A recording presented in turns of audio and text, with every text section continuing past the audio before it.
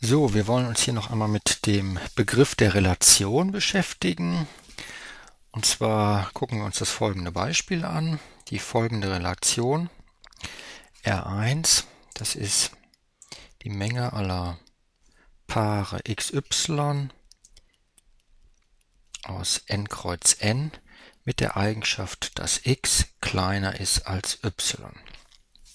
R1 ist eine Relation, und es hat gewisse Eigenschaften, und zwar werden wir nachweisen, dass R1 eine lineare Ordnung ist.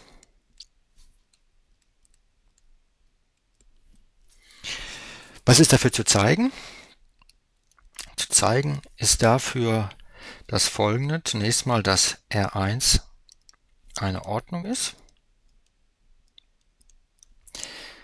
Das bedeutet, dass wir drei Eigenschaften nachweisen müssen für R1, nämlich einmal die Eigenschaft, dass R1 reflexiv ist, dass R1 antisymmetrisch ist und dass R1 transitiv ist.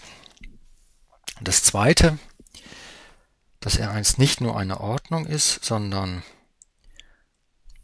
dass es sogar eine lineare Ordnung ist.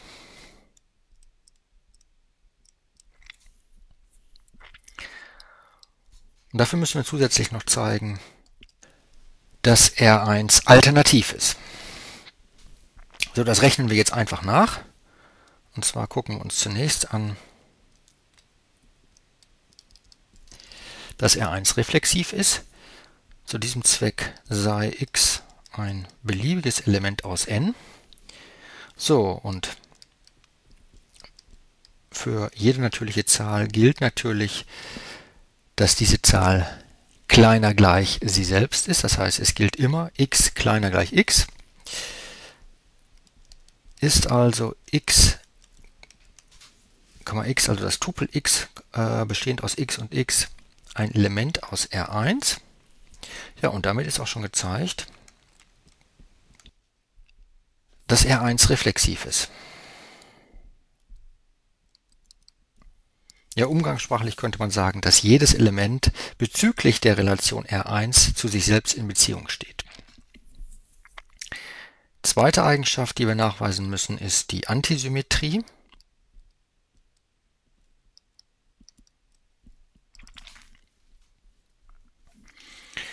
So, zu diesem Zweck uns ein Paar her. Es sei also x, y natürliche Zahlen mit der Eigenschaft, dass x, y Element der Relation ist.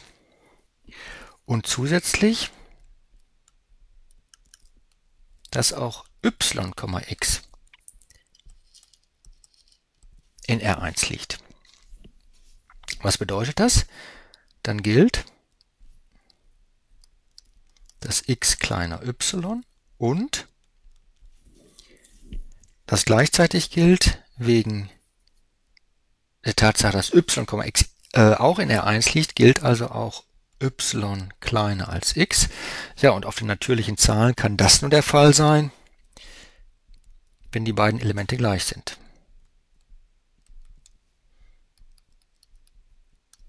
Und das ist genau die Eigenschaft der Antisymmetrie. Dritte Eigenschaft, die wir nachrechnen müssen, ist die Eigenschaft, dass R1 transitiv ist. Dafür brauchen wir jetzt drei Zahlen. Es seien also x, y, z aus der Menge der natürlichen Zahlen mit x, y aus R1 und yz aus R1. Das heißt,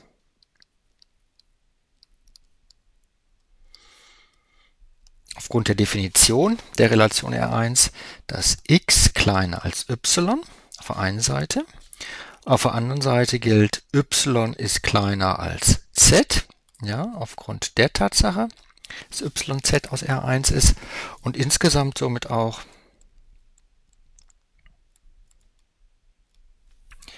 x kleiner y, das heißt, äh, Entschuldigung,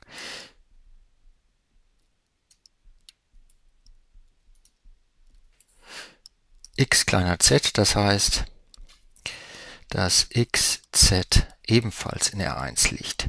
Und damit ist R1 transitiv. Es bleibt nur noch zu zeigen, dass R1 alternativ ist. Was ist dafür zu zeigen? Nun, für alle Elemente xy aus n müssen wir zeigen, dass entweder x, y in R1 liegt oder y, x in R1 liegt. Das heißt, wir nehmen uns zwei beliebige, Elemente her, es seien xy aus n. So, jetzt gucken wir uns verschiedene Fälle an. Gilt x kleiner y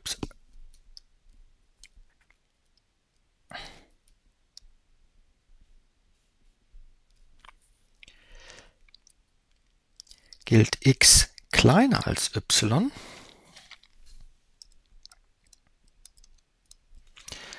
so ist y. So ist x, y Element aus R1, gilt y kleiner als x, so ist y, x Element aus R1 die dritte Möglichkeit ist dass x gleich y. So ist x, y und Element aus R1 und y, x Element aus R1. Auch damit ist die Eigenschaft des Alternativ, der alternativen Relation erfüllt. Ja, und damit haben wir alle Dinge nachgewiesen, die für eine lineare Ordnung zu zeigen sind. Wir haben gezeigt, dass R1 eine Ordnung ist, die reflexiv, antisymmetrisch und transitiv ist und wir haben zusätzlich gezeigt, dass R1 alternativ ist und damit ist R1 eine alternative Ordnung.